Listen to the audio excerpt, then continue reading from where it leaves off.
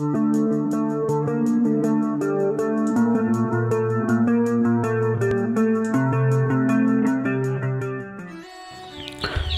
Assalamualaikum warahmatullahi wabarakatuh. Apa kabar dulur KB Yuk ikuti perjalanan saya menengok langsung pembangunan jalan tol di Jogja Solo Tepatnya di Kalasan Tepatnya di daerah Temanggal, Kadirojo dan sekitarnya lur Kita akan melihat langsung titik rencana simpang susun yang ternyata lur membutuhkan lahan yang cukup luas sekali lur bahkan bisa mencapai ya mungkin berhektar-hektar lur. Supaya tidak penasaran yuk ikuti saja lur perjalanan saya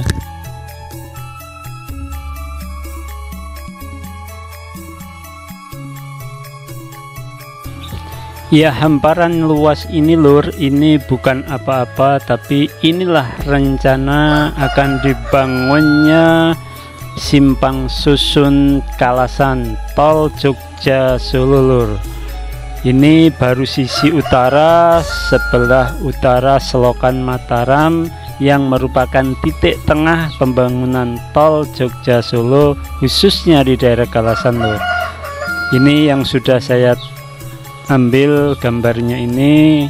Saya mengambil lewat uh, drone lur supaya nampak uh, luas pandangannya. Ini baru sisi utara dan ini pun baru uh, sebagian belum seluruhnya lur. Ini gambaran sekilas rencana simpang susun tol Jogja Solo di daerah Kalasan tepatnya di daerah Purwomartani tepatnya lagi di daerah Temanggal Kadirojo dan sekitarnya lur. Bisa dibayangkan seluas ini dari ini baru sisi utara itu yang nampak di sebelah jauh sana itu sisi timur lur. Ya ini kita sedang menghadap ke arah selatan ya kita nanti akan melihat batas tengahnya. Kita belum bisa melihat batas atau wilayah atau area sisi selatan lur karena memang belum dikerjakan sama sekali.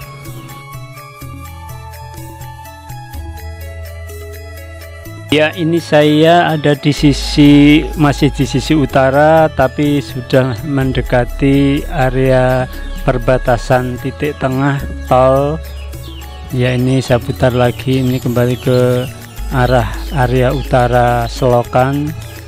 Seluas itu dulur-dulur yang nanti akan uh, terdampak area pembangunan simpang susun. Ini saya coba nah saya putar seperti ini lur. Ini baru sisi utara lur. Sekali lagi ini baru sisi utara selokan.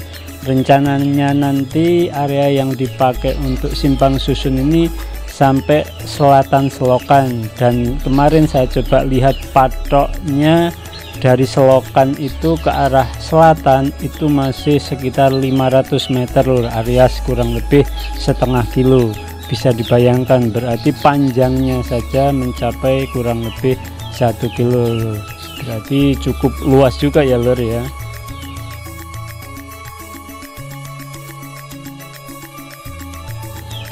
Ya dulur-dulur ini yang nampak lapang ya seperti sudah tidak ada eh, apa namanya tumbuhan atau tanaman ini. Ini adalah sisi utara lur. Batasnya itu yang ada eh, alat berat warna hijau itu baru titik tengahnya di sana. Nanti di seberangnya itu masih sekitar 500an lur.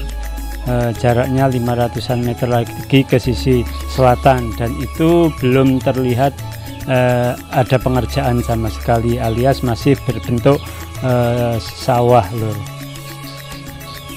Nah seperti ini lur. Ini saya tampilkan lewat drone. Ini cukup luas sekali lur ya. Nah ini baru setengahnya. Sudah seluas ini. Nah ini sampai nanti di uh, selokan Mataram yang di situ nampak ada alat berat berwarna hijau lur.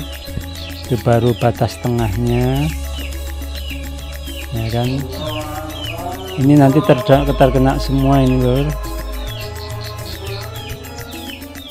mohon maaf karena anginnya kencang jadi pengambilan drone-nya agak sedikit goyang-goyang ya lur. Mohon maaf ya lur. Nah itu lur. Ini baru sisi sisi utara lur. Seluas ini ini sisi utara. Sisi selatan belum digarap sama sekali lur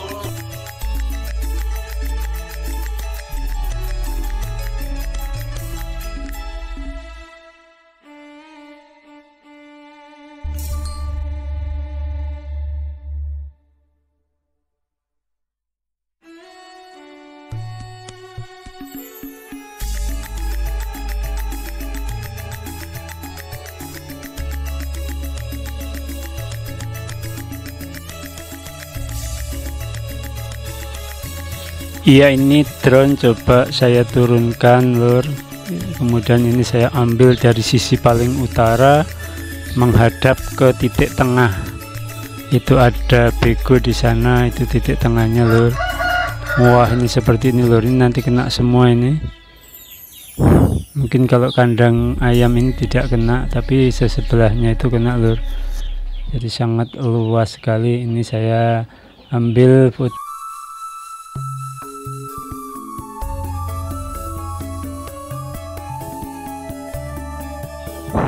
ya ini sisi utara sebelah barat hampir mendekati perbatasan Kadiroja 2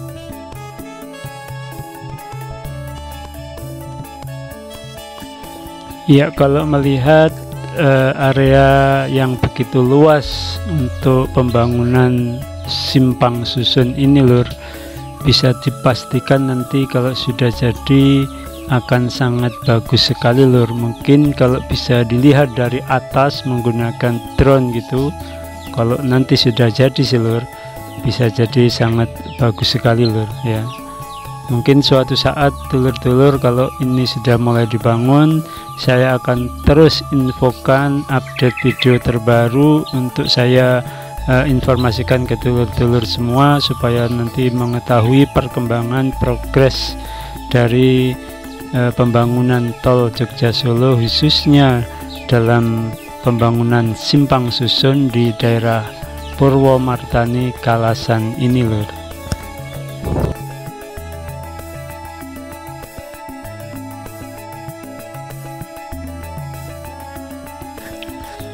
Iya ini saya akan coba mendekati titik tengahnya lur.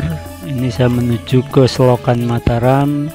Dari sisi sebelah utara tadi sambil memantau uh, area sekitar yang sudah hampir diratakan itu ya sudah ditata.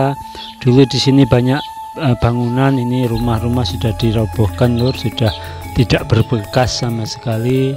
Juga di sini dulu banyak pohon-pohon ya karena saya mohon maaf saya juga orang sini lur. Jadi saya tahu persis kondisinya. Jadi di sini dulu banyak pohon dan ternyata sekarang sudah rata ya. Sudah tidak lagi berbentuk persawahan hanya sebagian kecil saja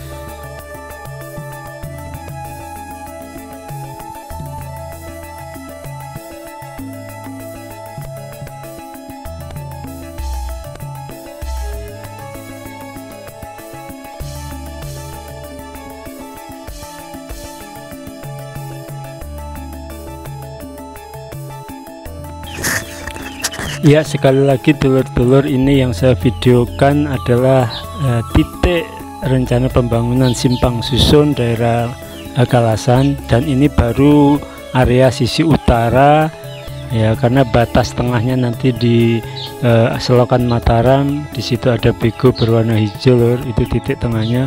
Sementara di seberang sebelahnya atau di seberangnya itu itu sisi selatan dan uh, belum ada tanda-tanda ada pengerjaan nanti dulur-dulur kalau nanti sudah ada pengerjaan saya akan terus update saya infokan ke dulur-dulur semuanya sehingga nanti dulur-dulur bisa mengikuti perkembangan uh, pembangunan simpang susun tol Jogja Solo khususnya di daerah uh, Purwomartani Kalasan Sleman Yogyakarta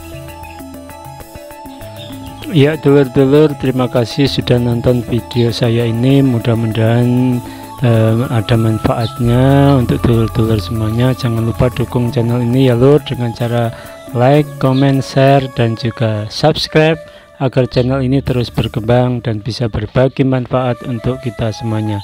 Terima kasih lur. Selamat siang. Assalamualaikum warahmatullahi wabarakatuh